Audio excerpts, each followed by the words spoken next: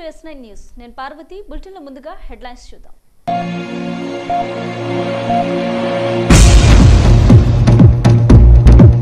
ఈ నెల పంతొమ్మిదిన ఉమ్మడి మహబూబ్ నగర్ జిల్లా కాంగ్రెస్ పార్టీ ముఖ్య నాయకుల సమావేశం. వెల్లడించిన డీసీసీ అధ్యక్షుడు జి మధుసూదన్ రెడ్డి.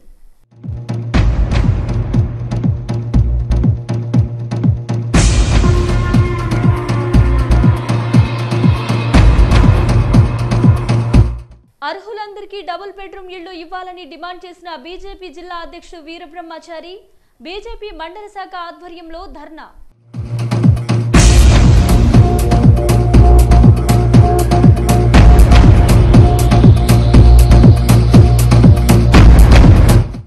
ఈ నెల పదమూడున మహబూబ్ నగర్ జిల్లా కేంద్రంలో పవనపుత్ర వీరాంజనేయ స్వామి దేవాలయంలో జరిగిన చోరీ నిందితులను అరెస్టు చేసిన పోలీసులు.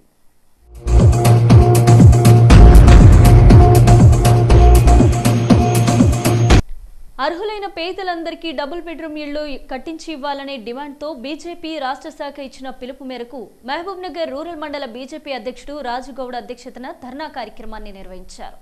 ఈ కార్యక్రమానికి ముఖ్య అతిథులుగా బీజేపీ జిల్లా అధ్యక్షులు వీరబ్రహ్మచారి హాజరయ్యారు.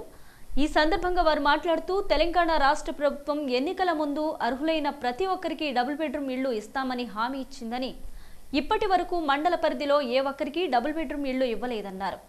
ప్రజల్లోని వ్యతిరేకతను గుర్తించిన రాష్ట్ర ప్రభుత్వం గృహలక్ష్మి పథకం పేరుతో మూడు లక్షలు ఇస్తామని చెప్పి దరఖాస్తులకు మూడు రోజుల సమయం ఇవ్వడం ఏంటని వారు ప్రశ్నించారు.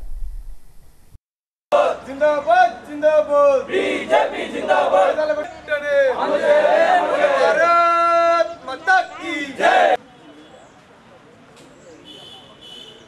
భారతీయ జనతా పార్టీ రాష్ట్ర శాఖ పిలుపు మేరకు అన్ని మండల కేంద్రాల్లో పట ధర్నా కార్యక్రమము నిర్వహిస్తున్నాం.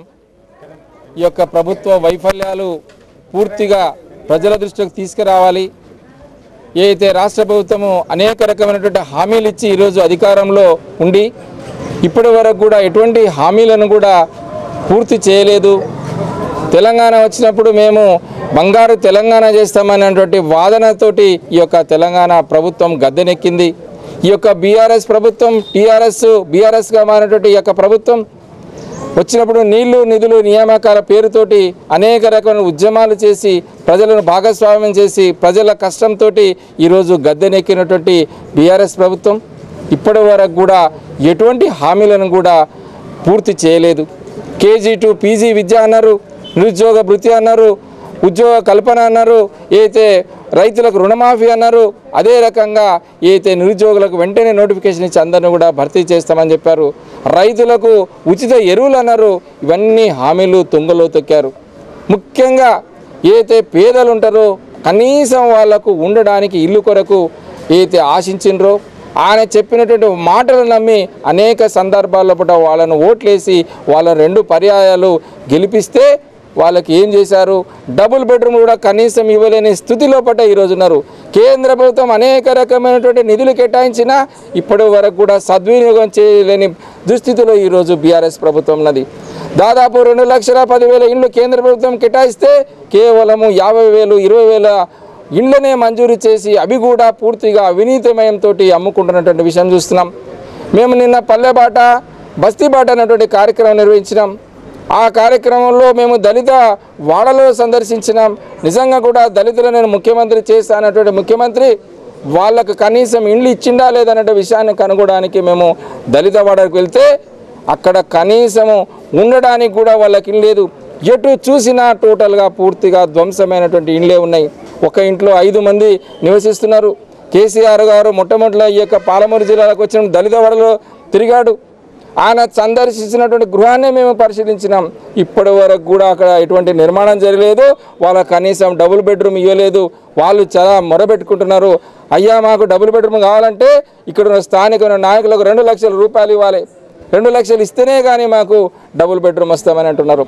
అదే రకంగా అక్కడ ఉన్నటువంటి స్థానికులకు కేవలం టీఆర్ఎస్ బీఆర్ఎస్ నాయకులకే ఈ రకమైనటువంటి డబుల్ బెడ్రూమ్లు కేటాయిస్తున్నారు. ఇది పూర్తిగా అవినీతి. ఈ రకమైన అవినీతిలో ఈరోజు కూరుకొని పోయి ఉంది. దళిత బంధు ఇస్తున్నారంటే దళిత బంధు కూడా ఇవ్వడం లేదు. ఎవరికి ఇస్తున్నారు? కేవలం టీఆర్ఎస్ బీఆర్ఎస్ నాయకులకే దళిత బంధు ఇస్తున్నారు.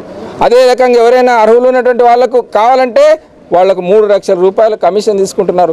ఈ రకంగా రాష్ట్ర ప్రభుత్వం పూర్తిగా వైఫల్యం చెందింది కాబట్టి ఈరోజు మేము అన్ని వైఫల్యాలను ప్రజల్లోపటి తీసుకురావడానికి ఈరోజు ఎంఆర్ ఆఫీస్ మీద ధర్నా చేస్తున్నామంటే విషయాన్ని ఈ సందర్భంగా తెలియజేస్తున్నాం. ఈ నెల పంతొమ్మిదిన మహబూబ్ నగర్ జిల్లా కేంద్రంలో ఉమ్మడి మహబూబ్ నగర్ జిల్లాకు సంబంధించిన ముఖ్య నాయకుల సమావేశం నిర్వహిస్తున్నట్లు కాంగ్రెస్ పార్టీ జిల్లా అధ్యక్షుడు జి మధుసూదన్ రెడ్డి తెలిపారు. మహబూబ్ నగర్ జిల్లా కేంద్రంలోని కాంగ్రెస్ పార్టీ కార్యాలయంలో నిర్వహించిన మీడియా సమావేశంలో ఆయన మాట్లాడారు. బీఆర్ఎస్ అరాచకాలను ప్రజల్లోకి వివరిస్తూ ఏ విధంగా ముందుకు వెళ్ళేందుకు నిర్ణయం తీసుకున్నట్లు తెలిపారు. బీజేపీ బీఆర్ఎస్లు కలిసి ప్రజలను ఏ విధంగా మోసం చేస్తున్నాయని తిరగబడదాం తరిమి కొడదాం అనే నినాదంతో ఈ కార్యక్రమాన్ని ఈ నెల పంతొమ్మిదిన ముఖ్య నాయకుల సమావేశంలో ప్రారంభించనున్నట్లు ఆయన పేర్కొన్నారు. ఈ సమావేశంలో ఉమ్మడి జిల్లాకు చెందిన కాంగ్రెస్ పార్టీ నాయకులు కార్యకర్తలు పెద్ద ఎత్తున పాల్గొనాలని ఆయన పిలుపునిచ్చారు.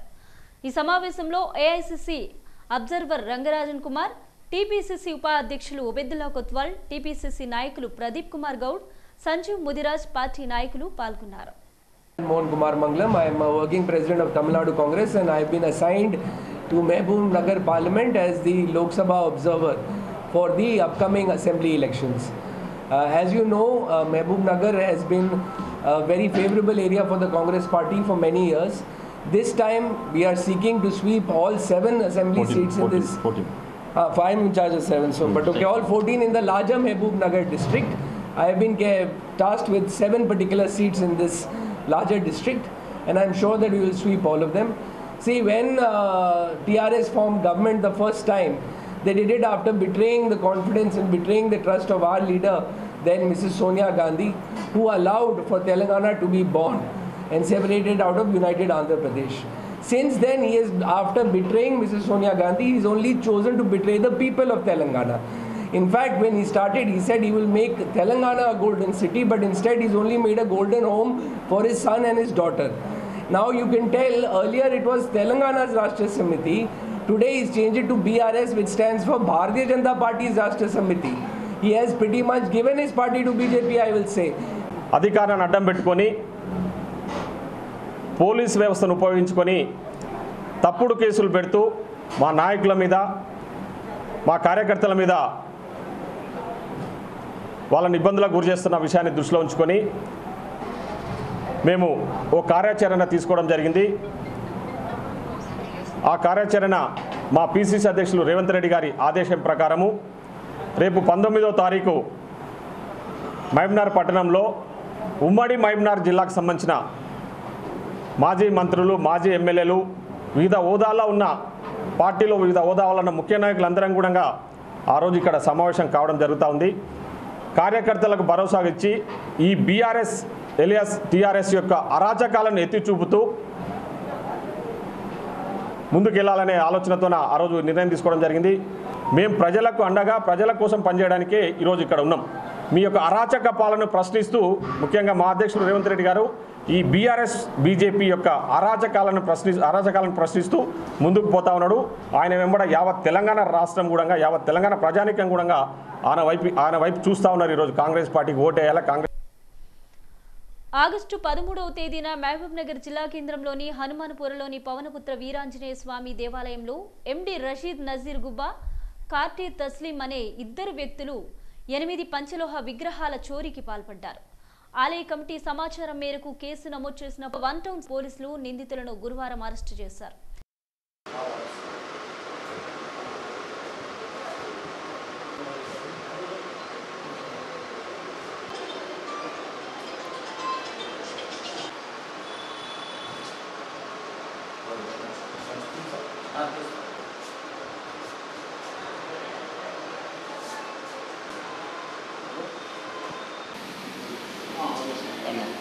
నమస్తే అండి.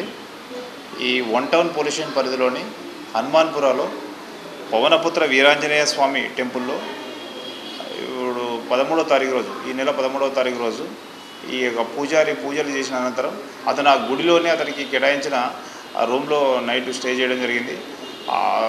తర్వాత మరుసటి రోజు ఉదయం లేచి చూడగా ఇప్పుడు ఆ గుడిలో ఇప్పుడు ఆ విగ్రహాలు అంటే ఇప్పుడు శ్రీరామచంద్రుడిది తర్వాత సీత లక్ష్మణుడి రా మళ్ళీ తర్వాత ఆంజనేయ స్వామిది. రెండు జతల ఉత్సవ విగ్రహాలు ఈ పంచలోహ విగ్రహాలు చోరీకి గురైనట్టు అతను తెలుసుకొని ఆ గుడికి సంబంధించిన వ్యక్తులకు అట్టి సమాచారాన్ని అందజేయడం జరిగింది.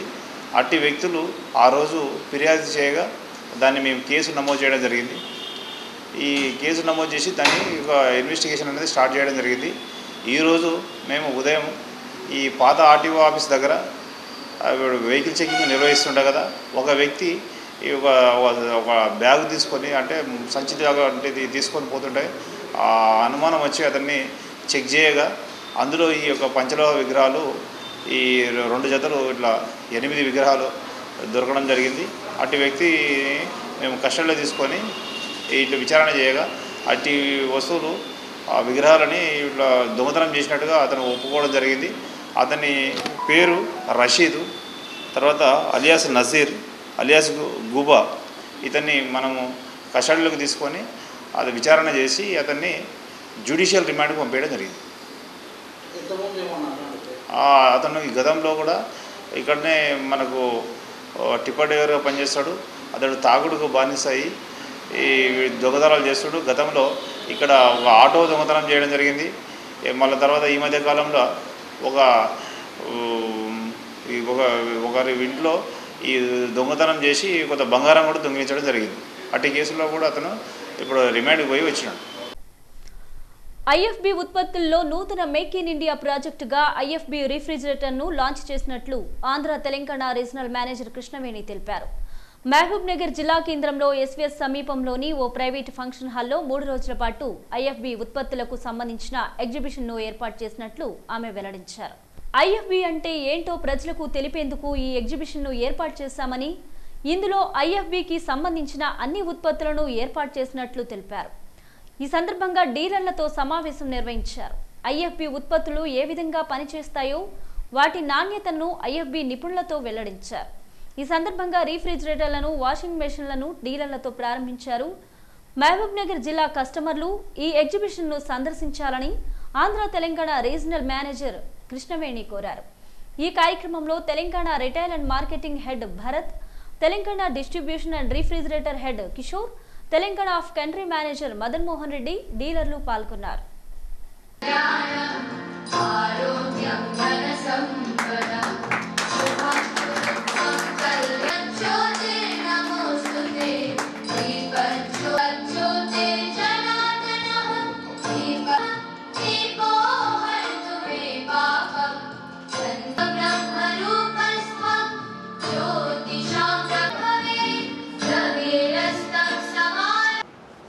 Yeah, thank you. Thank you all for తెలుస్తుంది. హలో స్పీడ్ వచ్చేసారు. అండ్ వాషింగ్ మిషన్ అనేది సపోర్ట్ చేస్తాము. The same way regulators for your valuable words and నేను చూపించబోతున్నాం మీకు. సో మా ప్రొడక్ట్స్ ఏంటి? అవి ఎలా బెటర్గా ఉన్నాం. సో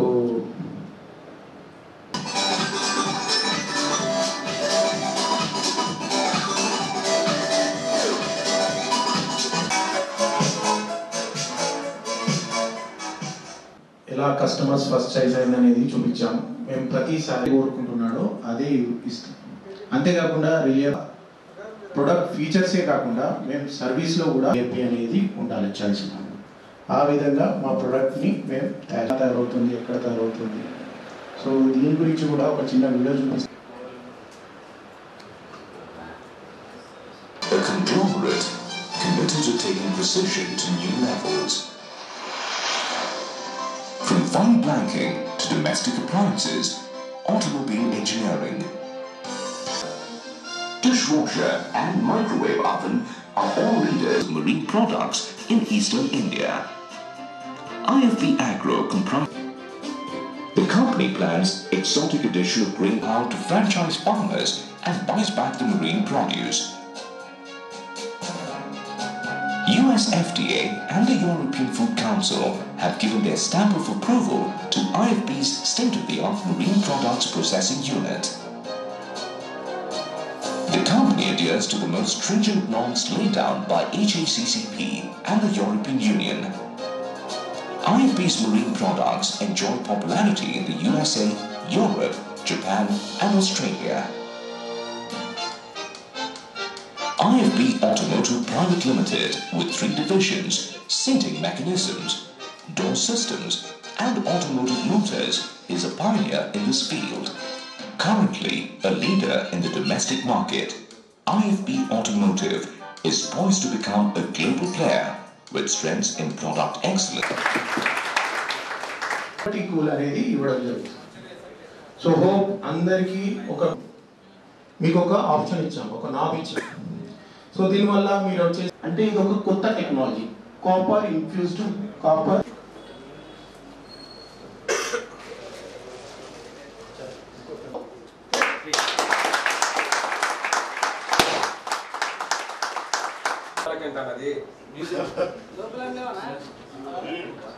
లోపల తెచ్చి పెట్టాలి రైట్. కానీ కార్లు వేసుకోపోవాలి. ఆల్రెడీ ఉంది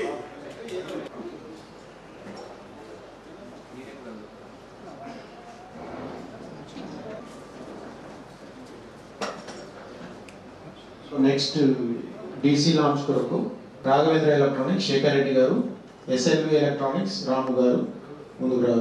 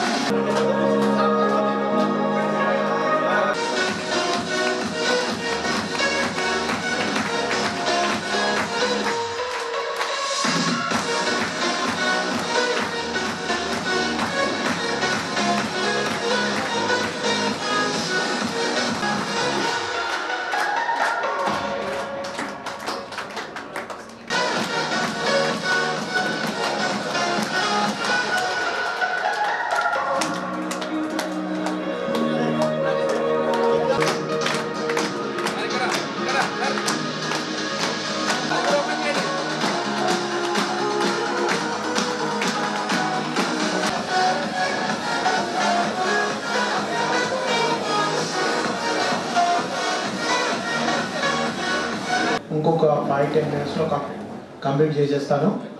సో రిక్వెస్ట్ సో ఈ డీప్ క్లీన్ సిరీస్ అంటే ఎగ్జాక్ట్ ఏంటనేది just we are going to see in a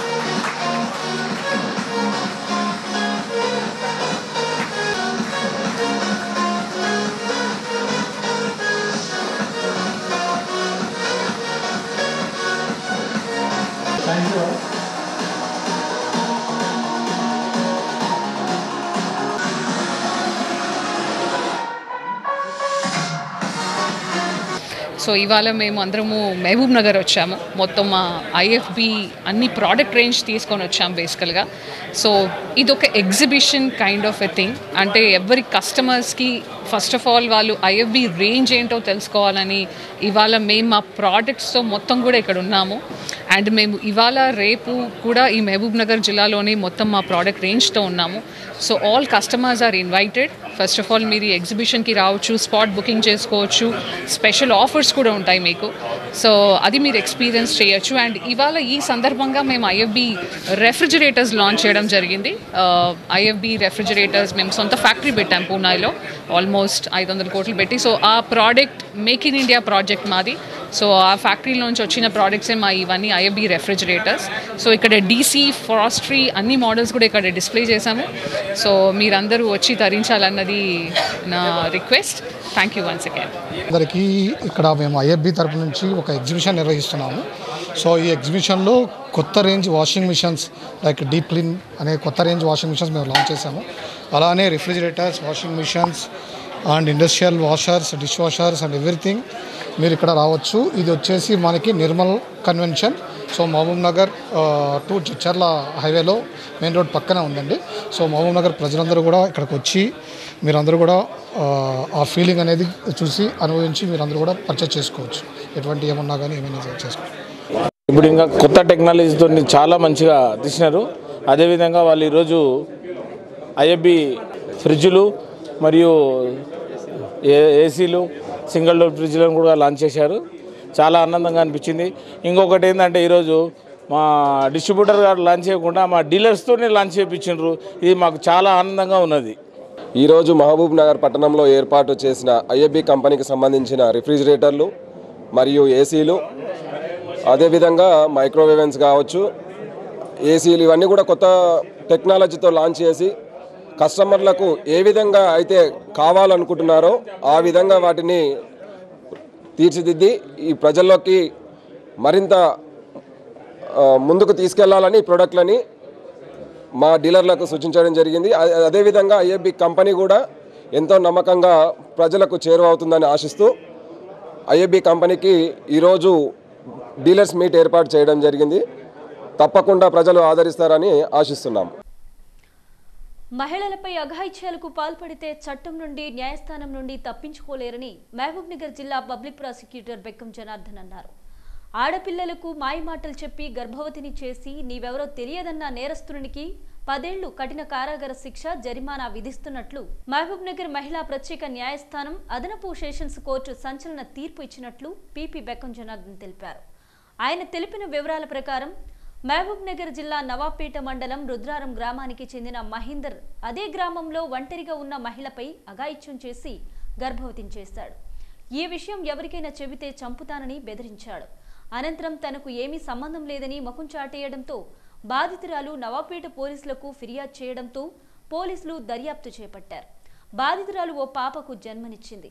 దీనికి మహేందర్ అంగీకరించకపోవడంతో మహబూబ్ నగర్ జిల్లా మహిళా న్యాయస్థానం అదనపు సెషన్స్ కోర్టు కేసు విచారణ చేపట్టి నేరం రుజువు కావడంతో మహేందర్కు పదేళ్ళు కఠిన కారాగార శిక్ష ఆరు వేలు జరిమానా రెండు సంవత్సరాలు సాధారణ జైలు శిక్ష విధిస్తూ అదేవిధంగా బాధితురాలికి ఏడు లక్షల రూపాయల పరిహారం చెల్లించాలని న్యాయస్థానం సంచలన తీర్పునిచ్చింది.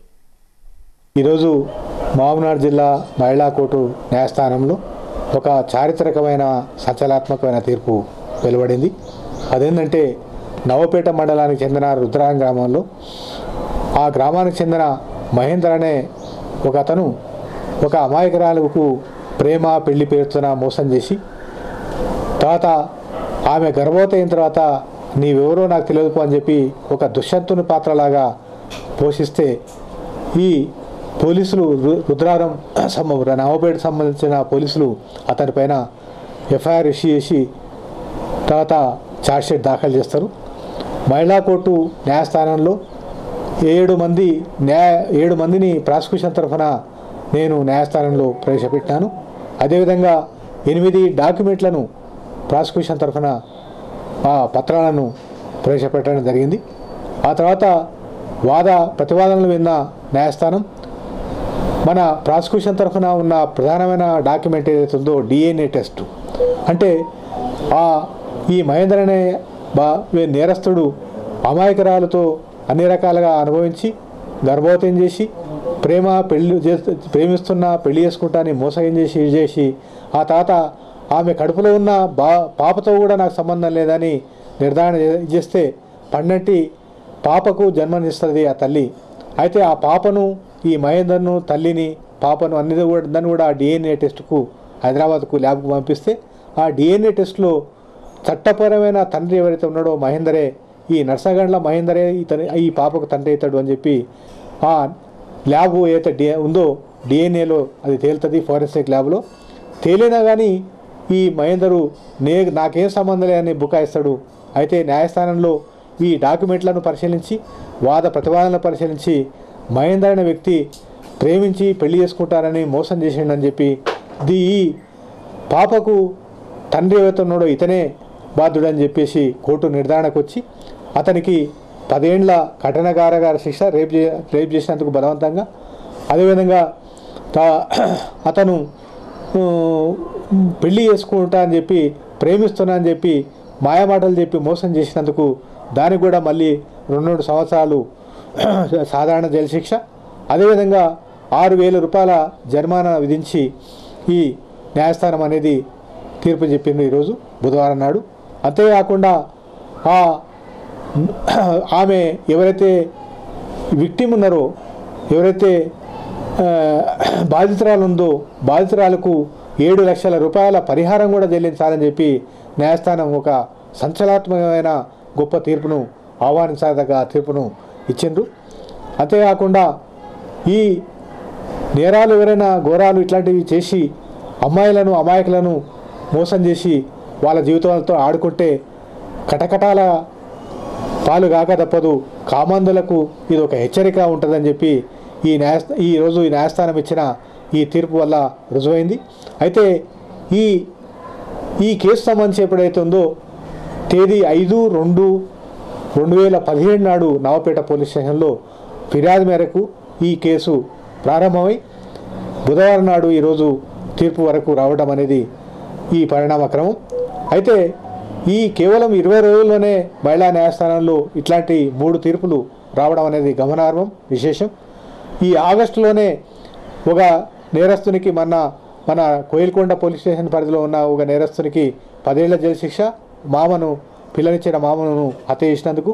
అదేవిధంగా ఈరోజు నవపేట మండలం రుద్రార గ్రామానికి చెందిన మహేంద్ర అనే వ్యక్తి కడుపు చేసి కాదు పొమ్మన్నందుకు ఆ కామందునికి పదేళ్ళ మరో శిక్ష వేసి ఈరోజు సంచలనాలకు ఈ జిల్లాలో ఇదైంది. ఈ పాలమూరు జిల్లా పైరుపచ్చల జిల్లా తప్ప నేర నేరాల జిల్లా కాదు నేరరహితమైన కిల్లాగా రేపు ప్రశాంతంగా వర్ధిల్లుతుందని చెప్పి ఈ పరిణామక్రమాన్ని మనం అర్థం చేసుకోవచ్చు.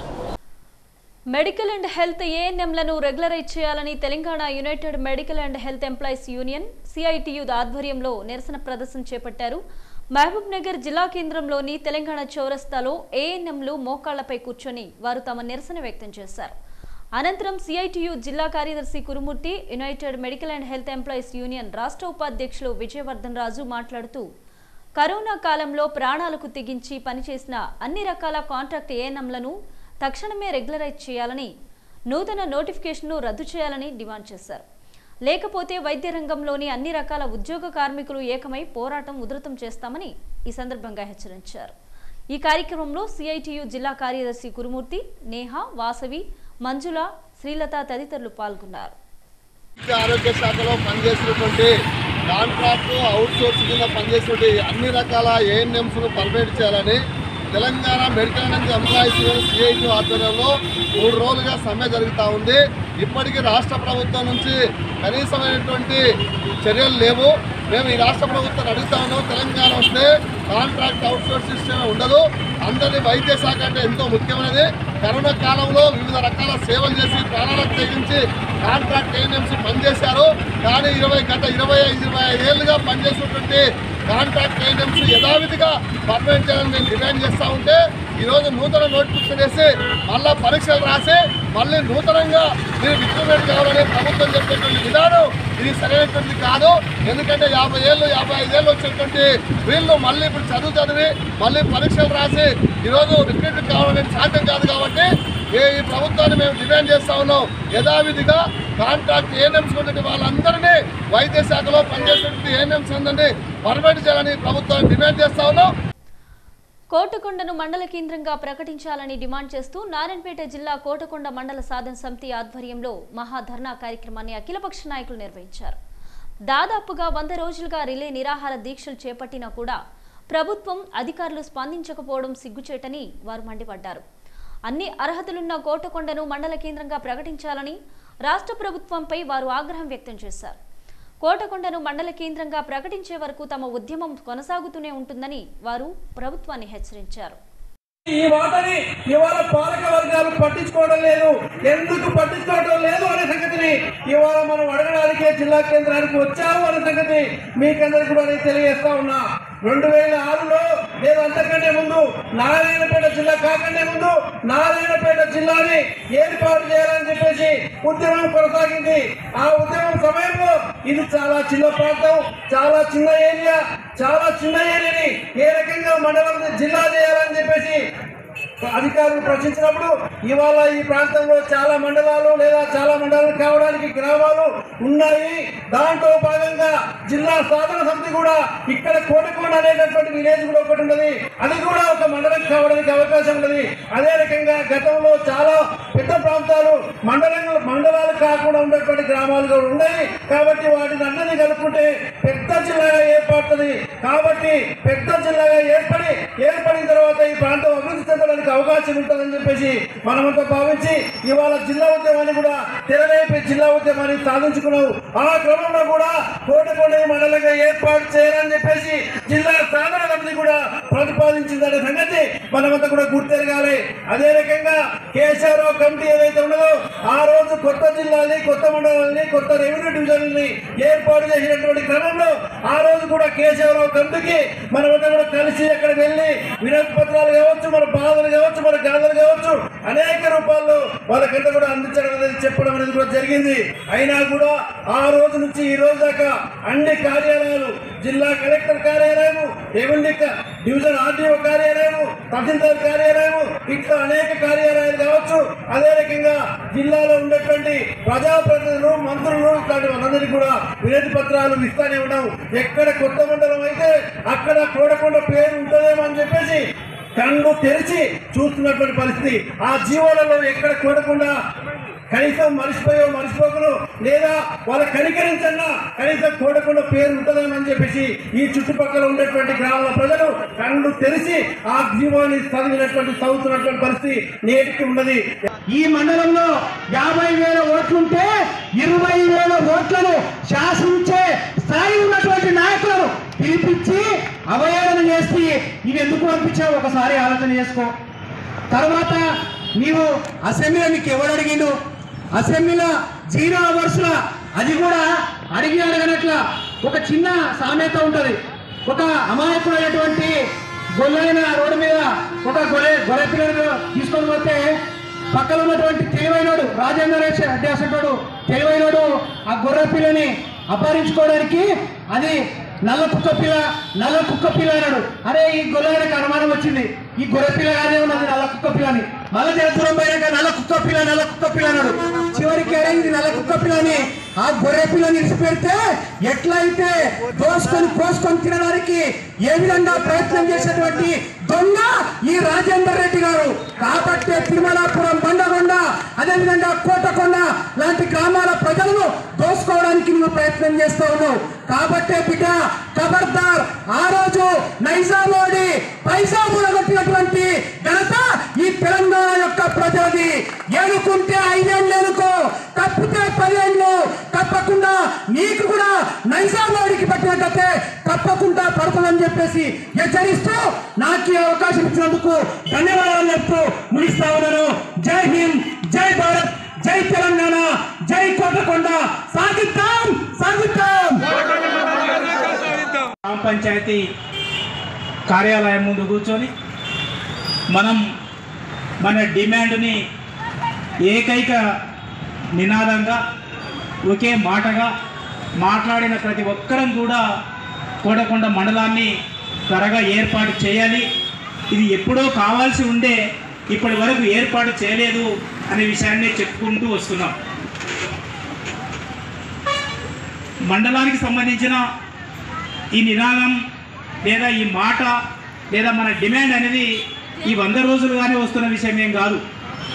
ఇది పంతొమ్మిది వందల ఎనభై నాలుగు నుండి కోటకొండ గ్రామాన్ని మండలంగా ఏర్పాటు చేయడానికి అర్హతలు కలిగినటువంటి గతంలో ఉండే దన్నాడ కావచ్చు లేదా కోయిల్కొండ మద్దూరు ఉట్కూరు ఇట్లాంటి గ్రామాలతో పోల్చుకున్నప్పుడు కోటకొండకు ఎప్పటి నుంచో అర్హత కలిగినటువంటి గ్రామమైన సంగతి అందరం కూడా గుర్తించినటువంటి విషయం. నియోజకవర్గ స్థాయిలో జిల్లా స్థాయిలో నాయకత్వం వహిస్తున్నటువంటి వివిధ పార్టీల నాయకులందరూ కూడా ఈ విషయాన్ని గ్రహించే ఈ దాన్ని మండలంగా చేయాలి అని చెప్పి మాట్లాడుకుంటూనే వచ్చినటువంటి విషయం ఉంది అని నేను ఈ సందర్భంగా గుర్తు చేస్తున్నాను కాబట్టి ఇప్పుడు ఉండేటటువంటి ఎమ్మెల్యే గారు ఎస్ రాజేందర్ రెడ్డి గారు ఒక అవకాశం వచ్చింది. రెండు వేల పదహారులో మండలాల పునర్వ్యవస్థీకరణ అంటే జిల్లాల పునర్వ్యవస్థీకరణలో భాగంగా కొన్ని మండలాల్ని అదే రకంగా డివిజన్ కేంద్రాల్ని కూడా రాష్ట్రంలో ఏర్పాటు చేసినటువంటి పరిస్థితి ఉంది. దాదాపుగా డెబ్బై మూడు మొన్న ఒకటి అయినట్టుంది డెబ్బై నాలుగు రెవెన్యూ డివిజన్లు అయినాయి. అదే రకంగా ఆరు వందల పదిహేను వరకు మొన్న అయినటువంటి ఒక ఐదు పది కలుపుకుంటే ఇంకా ఆరు వందల ఇరవై వరకు ఈ మండలాల కేంద్రాలు అంటే నాలుగు వందల నుంచి ఓ రెండు వందల పైన మండల కేంద్రాలు ఏర్పడినటువంటి పరిస్థితి ఏర్పడింది. ఆ దాంట్లో ఎట్టి పరిస్థితుల్లో కూడా రెండు వేల పదహారులో ఏర్పాటు చేసినప్పుడే కోటకొండ మండల కేంద్రంగా ఉం- ఉండి ఉంది లేదా ఉంటుంది అని చెప్పి భావించినాం. మేమందరం ఎలక్షన్ కంటే ముందే కోటకొండ మండలము దాదాపాడు మండలము కాంగ్రెస్ మండలము మూడు కూడా ఖచ్చితంగా కావాలి. దీనికి వెనుక జరిగే ప్రసక్తి లేదు. ఇక ఉద్యమం విషయం వస్తే మొన్న వాళ్ళు అసెంబ్లీలో మాట్లాడుతున్న పాలాభిషేకం చేసింది నిజంగా మండలం ప్రకటనను పాలకు ఎన్నైతే నియమిస్తా ఆతనే వచ్చి కోటకొండ భగత్ సింగ్ ముందులో స్వామి వివేకానంద ముఖం లేమను మీరందరూ పాలాభిషేకం చేస్తారు పాలకులు నియమిస్తా ఎన్నైనా ఎప్పుడు బిఫోర్ ఎలక్షన్ ఖచ్చితంగా మూడు మండలాలు కావాల్సిందే. కాకుంటే బరాబర్ నేను ఎక్కడ తెప్పించుకోవాలో మా ఉద్యమకారులు అందరూ కూడా తెలుసు. మనందరూ కూడా ఉద్యమాన్ని ఎంత పెట్టే అసలు ప్రసక్తి పెట్టకండి. నడుము బిగిస్తే ఫస్ట్ ఇంటికి అంటుండే నవ్వు చేయకుండే మాట్లాడకుండే పిలిపించకుండే కానీ ఈ రోజు మన ఎఫెక్ట్ అసెంబ్లీలో మాట్లాడే వరకు ఏంటంటే మన ఎఫెక్ట్ ఉన్నదని ఈ సమయంలో ఎవరు కన్నా ఒక్కడు కూడా చేసే ఆలోచన కానీ అటువంటి నిర్ణయాలు కానీ తీసుకోకండి. ఒకవేళ ఆయన వచ్చి బిఫోర్ ఎలక్షన్ చేస్తుంటే అప్పుడు ఆలోచన చేస్తారు కానీ అంతకుముందు కూడా దయచేసి ఎవరు కూడా ఉద్యమాన్ని వెనకడు ఇంకా ఉద్యమం అనుకుంటే ఉద్యమం చేయాలి తప్ప దాన్ని వెనకడుగు వేయకండి తగ్గకండి. దానికి కావాల్సిన సహాయ సహకారాలు కూడా ఆ రోజు చెప్పినా ఈ రోజు చెప్పినా ఆర్థిక పరమైన సహాయ సహకారాలు కూడా ఉంటది. మన మండలాలు సాధించుకోవాల్సిన అవసరం ఎంతైనా ఉందని. ప్రజాక్షేత్రంలో ప్రజా బలంతో ఎన్నికల్లో గెలవలేని వారు గెలిచిన వారి గెలుపును జీర్ణించుకోలేక తప్పుడు కేసులు వేసి చివరికి అబాస్వాలు అవుతున్నారని Mahbubnagar municipal chairman KC Narasimhulu అన్నారు. తమపై రెండు వేల ఇరవై సంవత్సరంలో తప్పుడు అఫిడవిట్ దాఖలు చేసి ఎన్నికల్లో గెలిచినట్లు కాంగ్రెస్ నాయకుడు వేసిన కేసులో తాము విజయం సాధించినట్లు ఆయన వివరించారు. మహబూబ్ నగర్ జిల్లా కేంద్రంలోని బీఆర్ఎస్ పార్టీ కార్యాలయంలో నిర్వహించిన మీడియా సమావేశంలో మాట్లాడారు. తనతో పాటు మరో నలుగురు కౌన్సిలర్లపై తప్పుడు అఫిడవిట్ దాఖలు చేశారంటూ వేసిన కేసులో తాము విజయం సాధించినట్లు తెలిపారు. కాంగ్రెస్ నాయకుడు రాఘవేంద్ర రాజు అనే వ్యక్తి రెండు వేల ఇరవైలో మహబూబ్నగర్ కోర్టులో మాపై తప్పుడు అఫిడవిట్ దాఖలు చేశారని నా పైన ఆనంద్ గౌడ్ ఇరు ఇరవై ఒక వార్డు కౌన్సిలర్ ఆనంద్ గౌడ్ పైన మరి పదవ కౌన్సిలర్ అయినటువంటి రాణి పైన వాళ్ళ భార్య జిల్లా మహిళా అయినటువంటి వసంత రాణి పైన అదేవిధంగా మహమ్మద్ మహమ్మద్ అబ్దుల్ ఆది మోయిన్ అలీ పైన అదేవిధంగా మహమ్మద్ ఇమ్రాన్ షరీఫ్ మునీర్ పైన తప్పుడు అప్పుడు వీడు దాఖలు చేశారని కేసు నమోదు చేయడం జరిగింది. ఈరోజు మహబూబ్నగర్ కోర్టులో ఆ కేసు మేము గెలిచినాం వాళ్ళు ఓడిపోయింది గతంలో అనేక సార్లు ఇప్పుడు నేను రెండో వార్డు నుంచి గెలిస్తే నాకు నా పైన పోటీ నిలబడే వ్యక్తులు ఎవరు దాఖలు చేయలేరు. వాళ్ళు చేయాలి. యాక్చువల్గా చేయాలంటే ఓడిపోయిన వ్యక్తులు వాళ్ళు చేయాలి. ఈయన ఏది అసలు ఈయన పేరు ఉచ్చరించడానికి నాకు అసహ్యంగా ఉంది. ఎందుకంటే సోటి బ్లాక్మెయిలర్ రాజకీయం చేసే వ్యక్తి ఇది. ఈరోజు మేము ప్రజలతోన ఎంతో కష్టపడి ఎన్నుకుని పడ్డ కౌన్సిలర్ కౌన్సిల్కి పంపిస్తే ప్రజాస్వామ్యాన్ని అపస అపసహ్యం చేసే విధంగా అపహాస్యం చేసే విధంగా ఈయన ప్రవర్తిస్తూ ఉన్నాడు. ఈరోజు కోర్టును మేము న్యాయస్థానాన్ని గౌరవిస్తాము. న్యాయస్థానం మీద మాకు అపారమైన ప్రేమ ఉంది. ఎందుకంటే మేము ఎలాంటి తప్పుడు చేయలే మీకు ఈరోజు కోర్టు కేసులో మా వైపు గెలిచింది. ప్రజాచరిత్రంలో గెలవాలి తప్ప ప్రజల మన్నలను గెలిచాలి తప్ప ఇటువంటి అడ్డదారిన ఏదో కేసు వేసి అడ్డదారిన ఇది చేయాలంటే ఇది రాజకీయంలో నడవదు. ఖచ్చితంగా ప్రజలే వీళ్ళకు బుద్ధి చెప్తారు. ఎలక్షన్లో మున్సిపల్ ఎలక్షన్లో జరిగిన దాన్ని బట్టి మా చైర్మన్ గారు పైన కానీ నా తోటి కౌన్సిలర్ల పైన మరియు నా పైన కూడా రాఘవేందర్ రాజు అఫిడవిట్ తప్పు ఉందని చెప్పేసి ఒక కేసు వేయడం జరిగింది. ఈరోజు ఎవరికి కూడా ఇట్లా కౌన్సిలర్ల పైన కేసు వేసిన అనేది కూడా ఎవరికి కూడా తెలియని విషయం. ఇక్కడ కూడా మేము కూడా చెప్పుకోలేదు. ఈ కేసు ఏదైతే ఉందో సిల్లీ రీజన్స్.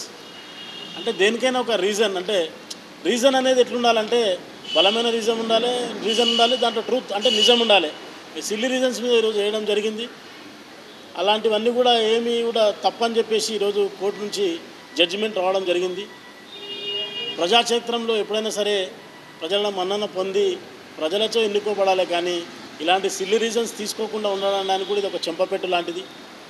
ఇది ఈరోజు సెమీఫైనల్ ఇది. ఇంకా ఫైనల్ కూడా చూస్తాం మనము.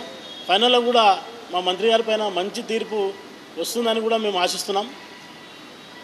ఎక్కడ కూడా ఈ కౌన్సిలర్ ఎవరైతే ఉన్నారో వాళ్ళు ఎక్కడ కూడా అంటే కరెప్టెడ్ కానీ ఇంకే విషయాలు కూడా లేదు. చిన్న విషయంలో కానీ కరెంటు బిల్లులు వేయలేదు నల్ల బిల్లులు కట్టలేదు. ఇలాంటి సిల్లీ రీజన్స్ తీసుకొని వేయడం జరిగింది. ఈరోజు న్యాయం అనేది నిజంగా చట్టం తన పని చేసుకుంటూ పోతుంది అన్నట్లు ఉన్నట్టుగా అందరం కూడా ఎవరు దాని గురించి కూడా ఎక్కువగా ఇది చేయలేదు.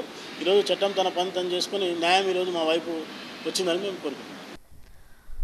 బంజారా సమాజాన్ని ఏకతాటిపైకి తెచ్చిన మహనీయుడు బంజారాల మొదటి పద్మశ్రీ అవార్డు గ్రహీత రామ్ సింగ్ బానోత్. నూట పదిహేడవ జయంతిని ఢాడీ లంబాడి హక్కుల జిల్లా అధ్యక్షుడు రాజునాయక్ ఆధ్వర్యంలో ఘనంగా జరుపుకున్నారు. మహబూబ్ నగర్ జిల్లా కేంద్రంలో నిర్వహించుకున్న ఈ కార్యక్రమానికి ఢాడీ లంబాడి హక్కుల సాధన సమితి వ్యవస్థాపక అధ్యక్షుడు రఘునాయక్ ముఖ్య అతిథిగా హాజరయ్యారు. ఈ సందర్భంగా వారు మాట్లాడుతూ రామ్ సింగ్ బాణోత్ స్వాతంత్ర ఉద్యమంలో గాంధీజీతో కలిసి పాల్గొని జైలు జీవితం గడిపినట్లు తెలిపారు. బంజారాల అభివృద్ధికి ఆయన చేసిన సేవలను గుర్తిస్తూ భారత ప్రభుత్వం ఆయనకు పద్మశ్రీ అవార్డును అందించినట్లు తెలిపారు. మరియు ఢాడిల ముద్దుబిడ్డ బంజారా సమాజాన్ని ఏకతాటిపై తీసుకొచ్చిన మహనీయుడు ప్రముఖ స్వాతంత్ర సమరయోధుడు మరియు పద్మశ్రీ బంజారాలో మొట్టమొదటి పద్మశ్రీ అవార్డు గ్రహీత స్వర్గీయ శ్రీ రామ్ సింగ్ భానావత్ గారి నూట పదిహేడవ జయంతి కార్యక్రమాలు ఈరోజు ఢాడీ లంబాడి హక్కుల సాధన సమితి జిల్లా కార్యాలయం మహబూబ్ నగర్ ఎందు జరపడం జరుగుతుంది. మరి దీంట్లో భాగంగానే ఈ ఢాడి సమాజానికి బంజారా సమాజానికి సంబంధించిన జిల్లాకు సంబంధించిన వారు రాష్ట్ర నాయకులు అందరూ కూడా పాల్గొన్నారు. వారందరూ కూడా పేరు పేరున నేను స్వాగతం పలుకుతున్నాను. అదేవిధంగా శ్రీ రామ్ సింగ్ భానావత్ గారు మహారాష్ట్ర ఫూలుమ్రి అకోలా జిల్లాలో అతను పంతొమ్మిది వందల రెండులో జన్మించినాడు ఫిఫ్టీన్త్ ఆగస్ట్ రోజు. మరియు అతను గాంధీ గారు వెంబడి స్వాతంత్ర ఉద్యమంలో పాల్గొన్నాడు జైలు జీవితాన్ని కూడా అనుభవించాడు. ఫిట్ ఇండియా ప్రోగ్రాంలో కూడా అతను చురుకుగా పాల్గొన్నాడు. మరియు ఈ భారతదేశంలో ఉన్న బంజారాలపై వివిధ దేశాల్లో వెళ్ళి పదకొండు దేశాలు తిరిగి రోమా జిప్సీపై అధ్యయనం చేసి ప్రపంచాన్ని రోమా జిప్సులు బంజారాలని నివేదిక ఇవ్వడం జరిగింది. మరియు ప్రపంచవ్యాప్తంగా కూడా వారికి గుర్తింపు తేవడం జరిగింది. దాంట్లో భాగంగానే అతని పంతొమ్మిది వందల తొంభై రెండులో భారత ప్రభుత్వము బంజారాలో మొట్టమొదటి పద్మశ్రీ అవార్డు అన్నది అతనికి ఇవ్వడం జరిగింది. మరి ఈరోజు అలాంటి సమాజం నుంచి ఇంత పెద్ద మేధావులు ఉన్నారు ఇంత గొప్పవారు ఉన్నారు మరి ఈరోజు లంబాడీల్లో ఉపజాతులైన డాడీ ఢాలియా సనార్ లోహార్ లభాన్ ఏవైతున్నాయో వీరందరూ కూడా చాలా వెనుకబడి ఉన్నారు. ఆర్థికంగా సామాజికంగా విద్యాపరంగా ఉద్యోగపరంగా. మరి వీరి స్వాం సంస్కృతి అన్నది ఆచార వివరాలు అనేది తెరమరుగవుతుంది. కనుక నేను ఈరోజు డిఎల్హెచ్ఎస్ ఆధ్వర్యంలో ప్రభుత్వాన్ని కేంద్ర రాష్ట్ర ప్రభుత్వాలకు ఒకటే డిమాండ్ చేస్తున్నాను. రాబోయే కాలంలో ఢాడీ సమాజం యొక్క సంస్కృతి సాంప్రదాయాలను అధ్యయనం చేసి ప్రత్యేక నిధులు కేటాయించి ఈ సంస్కృతిని కాపాడాలని వారితో డిమాండ్ చేస్తున్నాను.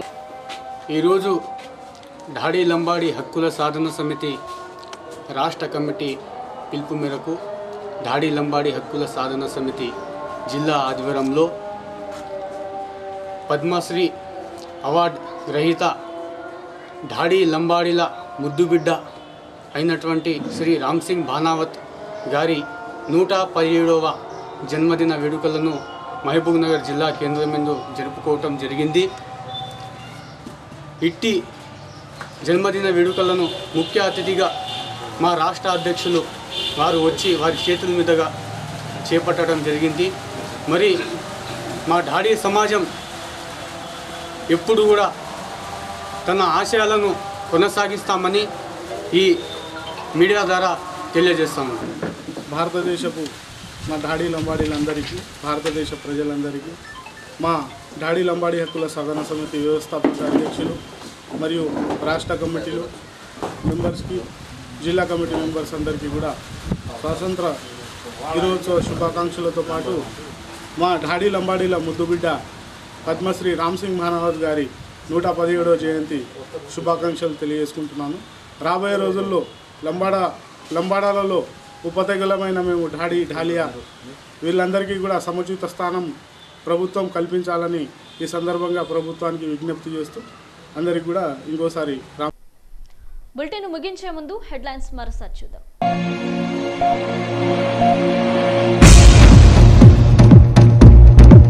ఈ నెల పంతొమ్మిదిన ఉమ్మడి మహబూబ్ నగర్ జిల్లా కాంగ్రెస్ పార్టీ ముఖ్య నాయకుల సమావేశం. వెల్లడించిన డీసీసీ అధ్యక్షుడు జి మధుసూదన్ రెడ్డి.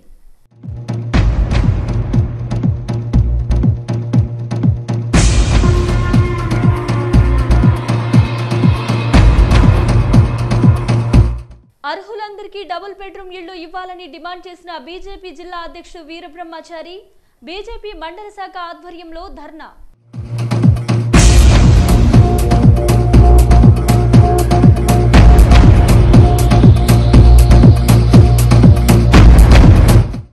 ఈ నెల పదమూడున మహబూబ్ నగర్ జిల్లా కేంద్రంలో పవనపుత్ర వీరాంజనేయ స్వామి దేవాలయంలో జరిగిన చోరీ నిందితులను అరెస్టు చేసిన పోలీసులు.